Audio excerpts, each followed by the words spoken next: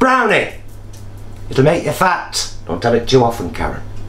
One, two, one, two, three, four. Those vegan guys. I thank you.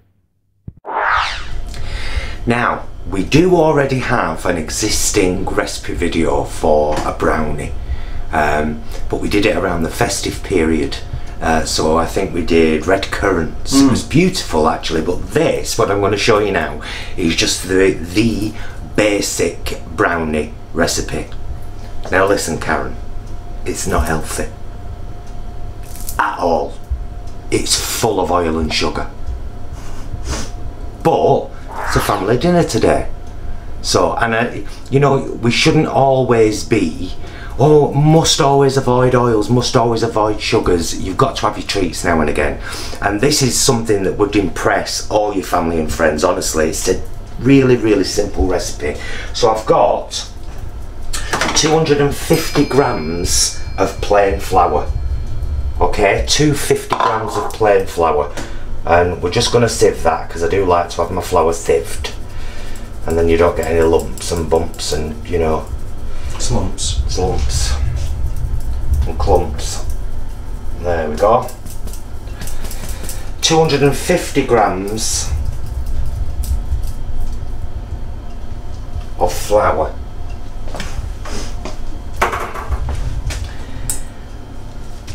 Are you ready for this bit?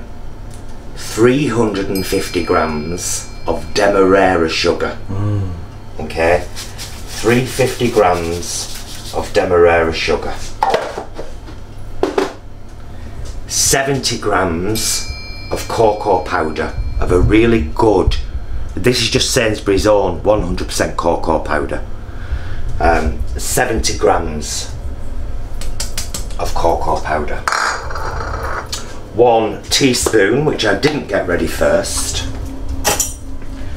One teaspoon of baking powder and go on, I don't want a heaped one. One teaspoon of baking powder.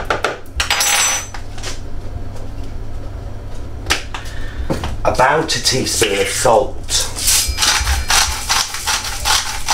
I'm just going to get it right in there. Salt and chocolate. There's something about putting salt in with cakes and brownies that just kind of really brings out that chocolate flavour hmm. One teaspoon of vanilla extract. Again, I'm using Taste the Difference, Sainsbury's, Madagascan vanilla extract. We had some lovely stuff um, not too long ago, which had all bits in it, but it was a very expensive bottle and it was only a little bottle, so that'll do. And the wet ingredients are 250 milliliters of vegetable oil. But what I do is I do a mix of vegetable oil and extra virgin olive oil. Always have done.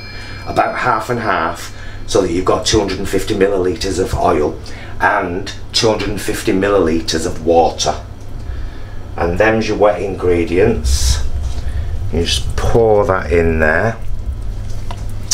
Now what I normally do because I've got oil in the jug here and the oil is a clinger I'll use my spatula that I will use to scrape it out of the bowl and put it into the baking tray to scrape the measuring jug. Leave that there. I'm being very kind here and doing the hand method. I've got a mixer right there I could have done it with, but not everyone's got a mixer, have they? True that. So, literally, mix this up until you've got a really gorgeous batter, and we'll come back and show you that in a sec.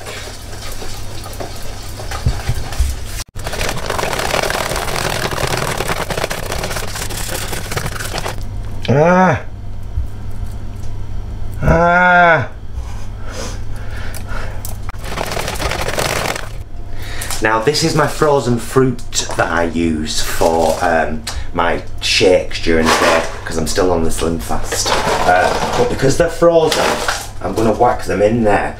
I've done, um, like I said before, I did a red currant one uh, at Christmas. I'm not putting the big, the big fruits in, keeping them for my smoothies, if you don't mind.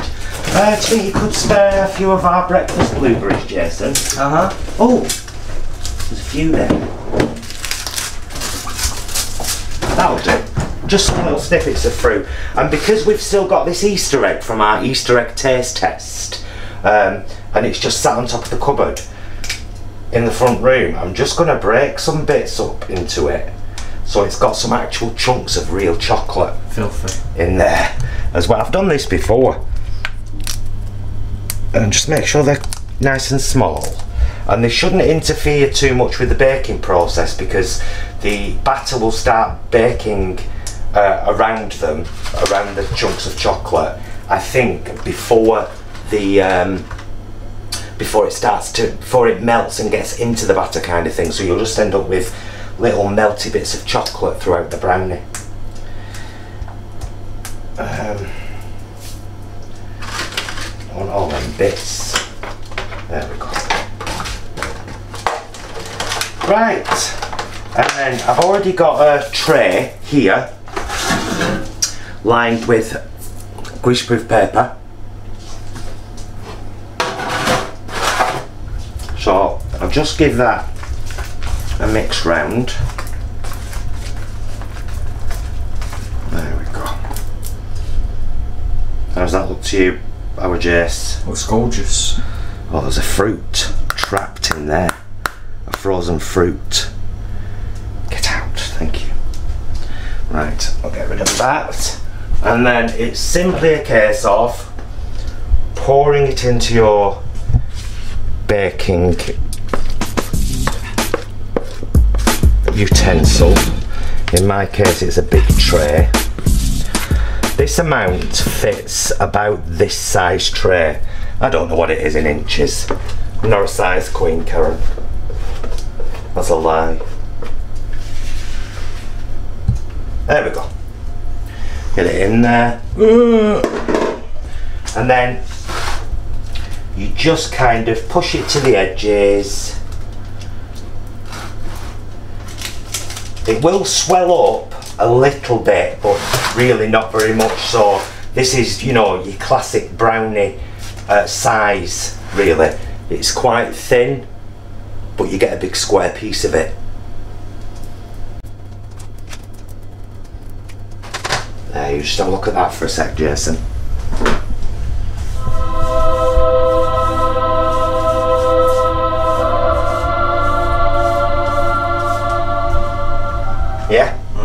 So I've got the oven on 180 and I'm going to cook this for about 20 minutes. We'll come back in 20 minutes and have a look. We'll put a wooden skewer in, see if it's cooked. But you do, because it's a brownie, you do want it a little bit squishy. So 180 in a fan oven, 200 if it's not a fan oven. About 20 minutes, maybe check it after 15 if you like a really soft gooey brownie. And uh, we'll show you it when it comes out. Brownie! It'll make you fat. Don't have it too often, Karen.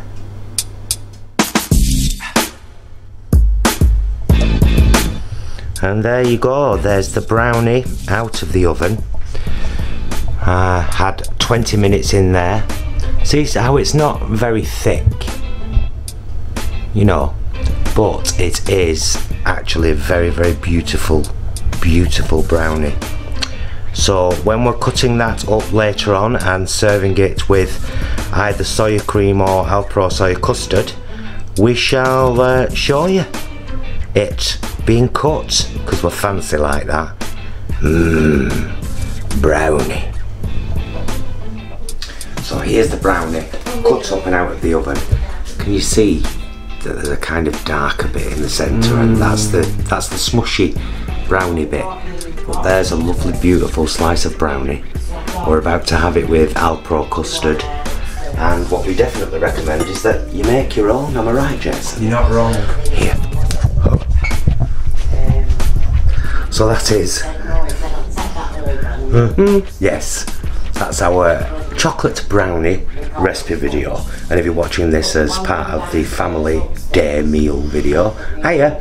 And if you're not, we hope you really enjoyed the brownie recipe video. Thank you so much for watching and please check out the rest of our playlists for loads more great down to earth vegan recipes from us too.